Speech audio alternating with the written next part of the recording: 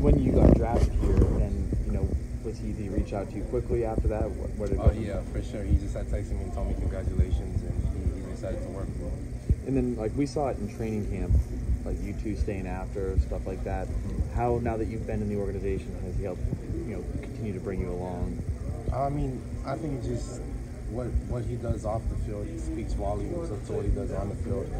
Um, you know, TJ's the type of guy that he's gonna be the last guy here, the first guy won, the last guy out. Um, he's gonna work harder than everybody. You know, and I've, I've always prided myself.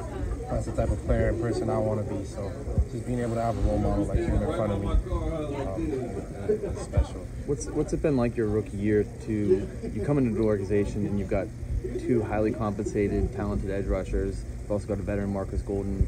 What's been like waiting your turn and waiting for this opportunity to come? Um, I, I wouldn't say I was waiting. I just, you know, I had to try and stay ready um, and take care of my role um, in the special teams department uh, with, with, with Coach Danny.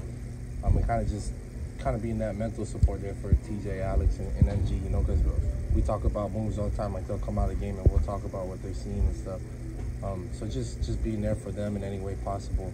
I mean, you know, obviously times like this, being ready to step up and you know will this team a victory on Sunday.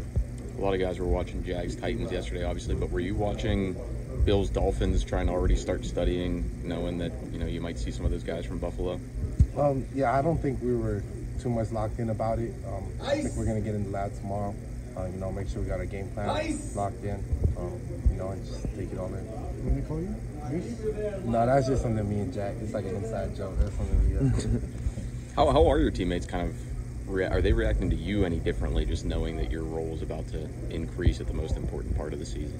I mean, not not really. I mean, you know, we, we kind of had a bond this whole year, um, and and I think that they, they believe in me, which I appreciate. You know, a lot of guys are just telling me, hey, we believe in you. Like it's your time to step up.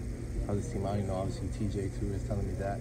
Um, so just having that support from, from a bunch of the guys, especially guys in the room, my coaches, um, I'm just excited. How much does it help that you guys have had that?